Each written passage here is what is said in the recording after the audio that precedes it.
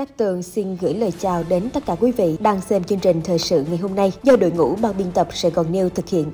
Kính chúc quý ông bà, cô chú và anh chị em luôn được khỏe mạnh, được bình an và luôn luôn hạnh phúc. Trước khi bắt đầu chương trình, Cát Tường mong quý vị bấm like, bấm chia sẻ video này giúp kênh lan tỏa tới nhiều quý khán thính giả hơn nữa và mong quý vị bấm đăng ký kênh để không bỏ lỡ bản tin nóng hàng ngày.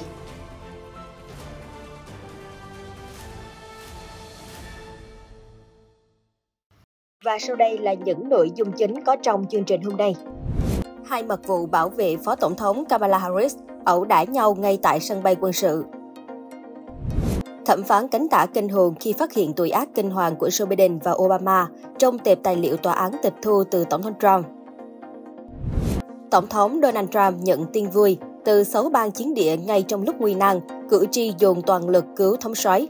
Và sau đây là phần tin chi tiết. Thưa quý vị, một sĩ quan mật vụ Mỹ bảo vệ Phó Tổng thống Kamala Harris bất ngờ có hành vi hung hăng và ẩu đả với đồng đội giữa sân bay quân sự Andrew. Tờ Washington Examiner cho biết cụ thể, khoảng 9 giờ ngày 22 tháng 4, một mật vụ bảo vệ Phó Tổng thống đã có hành vi bất thường tại căn cứ quân sự Andrew, khiến các đồng đội phải can thiệp.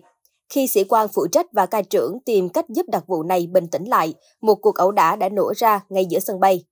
Mọi thành viên mật vụ Mỹ khi làm nhiệm vụ đều mang theo súng, nhưng các đặc vụ liên quan đã không sử dụng vũ khí trong vụ ẩu đả. Đặc vụ có biểu hiện bất thường đã bị còng tay đưa khỏi khu vực, sau đó bị đình chỉ công tác để kiểm tra sức khỏe. Washington Examiner đã nắm được danh tính và công việc của đặc vụ liên quan, nhưng không công bố vì tôn trọng quyền riêng tư của các bên. Văn phòng Phó Tổng thống Mỹ không bình luận về sự việc. Người phát ngôn Sở Mật vụ Mỹ Anthony Guglielmi cho biết, đặc vụ có hành vi bất thường đã được điều trị và bị loại khỏi đội hỗ trợ an ninh cho Phó Tổng thống Harris. Sự việc xảy ra vào thời điểm bà Harris chưa rời khỏi tư dinh và không ảnh hưởng lịch trình chuyến bay. Cơ quan mật vụ Mỹ không công khai chi tiết sự cố ở sân bay Andrew mà chỉ mô tả đây là vấn đề y tế. Mật vụ Mỹ trong các đội hộ tống yếu nhân thường chịu áp lực cao với những ca trực kéo dài nhiều ngày và phải cắt liên lạc với gia đình, người quen. Cơ quan mật vụ Mỹ xem sức khỏe tinh thần của nhân viên là yếu tố cần được giám sát nghiêm ngặt do đặc vụ luôn mang súng và ở rất gần quan chức cấp cao, cũng như nguyên thủ nước ngoài. Đội bảo vệ Phó Tổng thống VPD là công việc được trọng vọng cao thứ hai đối với mọi thành viên mật vụ Mỹ, chỉ xếp sau đội bảo vệ Tổng thống PPD. Theo tù chánh án 25 của Hiến pháp Mỹ, Phó Tổng thống xếp thứ hai trong danh sách kế nhiệm quyền lực nếu có tình trạng khẩn cấp và Tổng thống không thể điều hành quốc gia. Vào tháng 11 năm 2021, khi Tổng thống Joe Biden cần được gây mê để nội soi đại trang, ông đã chuyển giao tạm thời quyền lực cho Phó Tổng thống Harris trong khoảng 85 phút. Thành viên mật vụ Mỹ phải có kinh nghiệm hiện trường ít nhất 3 năm và có đánh giá năng lực xuất sắc trước khi ứng tuyển vào VPD. Đặc vụ sau đó phải trải qua khóa huấn luyện đội cận vệ ở trung tâm James C. Rowley ở ngoại ô Washington, rồi vượt qua các vòng phỏng vấn và xác minh tình báo trước khi gia nhập VPD. Thẩm phán cánh tả kinh hồn khi phát hiện tội ác kinh hoàng của Joe Biden và Obama trong tệp tài liệu tòa án tịch thu từ Tổng thống Trump.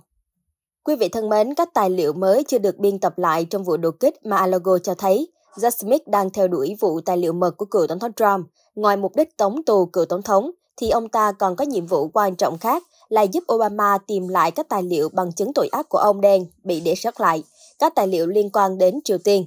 Sau cuộc đột kích có vẻ như DOJ hài lòng với những phát hiện của họ khi viết rằng Tôi nghĩ chúng tôi đang ở trạng thái tốt.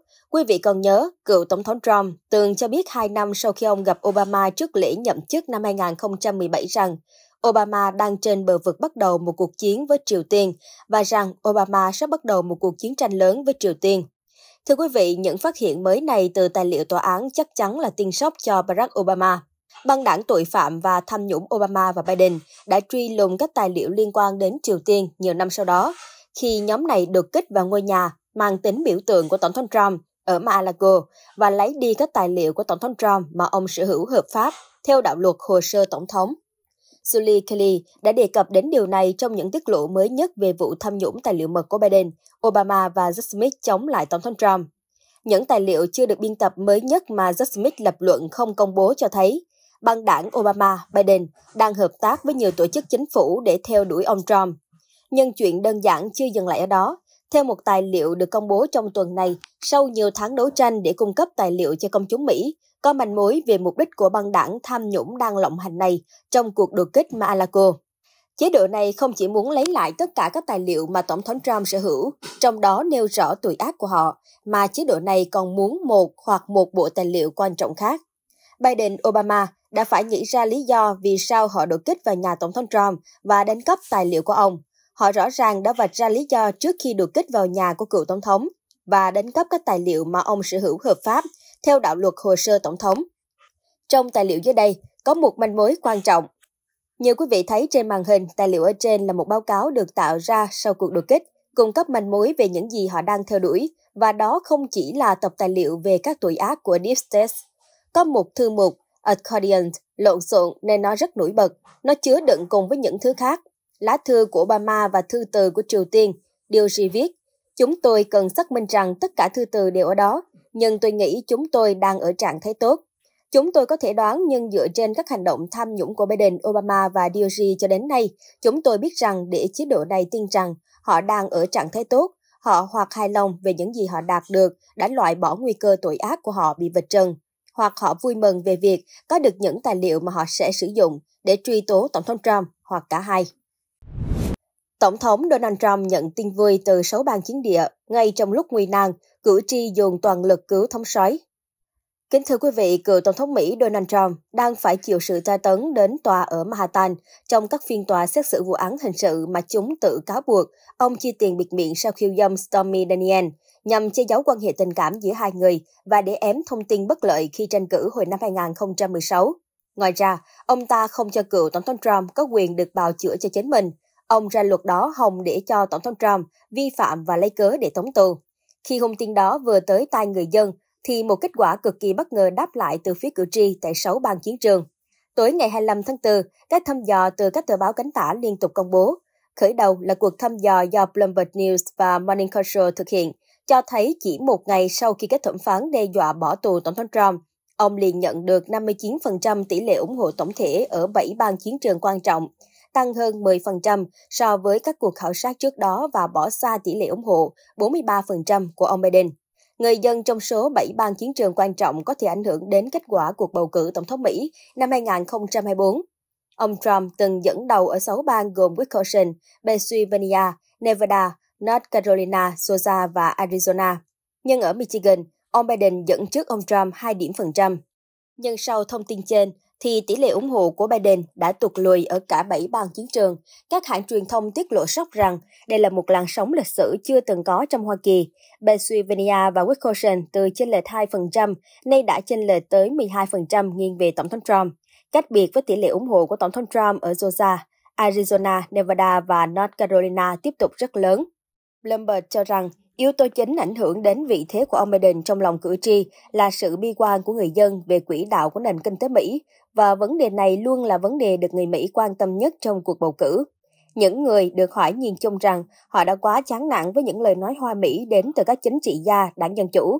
Con người của chúng rất nham hiểm, lời nói thì rất lột tay, nhưng các hành động ngầm sau đó của chúng lại rất độc địa. Trên thực tế, người dân đã phải gánh chịu thiệt hại nặng nề về mặt kinh tế suốt 3 năm qua và sống trong bất an cùng chừng đó thời gian. Nhìn lại và so sánh dưới nhiệm kỳ của cựu Tổng thống Trump, thì người dân Mỹ và cả thế giới đều thấy sung sướng.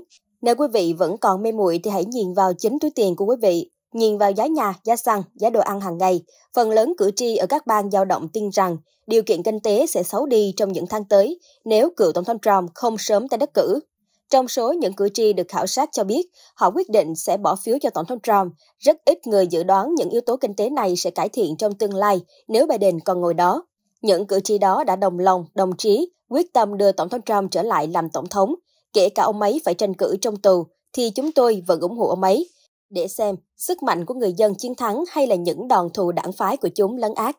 Kết quả khảo sát mới nhất cũng cho thấy tỷ lệ ủng hộ trong cuộc thăm dò đối với Joe Biden về cơ bản đã tụt xuống mức trước khi ông đọc bài phát biểu thông điệp liên bang vào đầu tháng 3. Bài phát biểu thông điệp liên bang dường như đã mang lại động lực tạm thời cho ông Biden trong tháng 3, nhưng thực tế thành tích trong tháng 3 cũng là điều đã nói lên trình độ ông ta, tệ hại và ngao ngắn.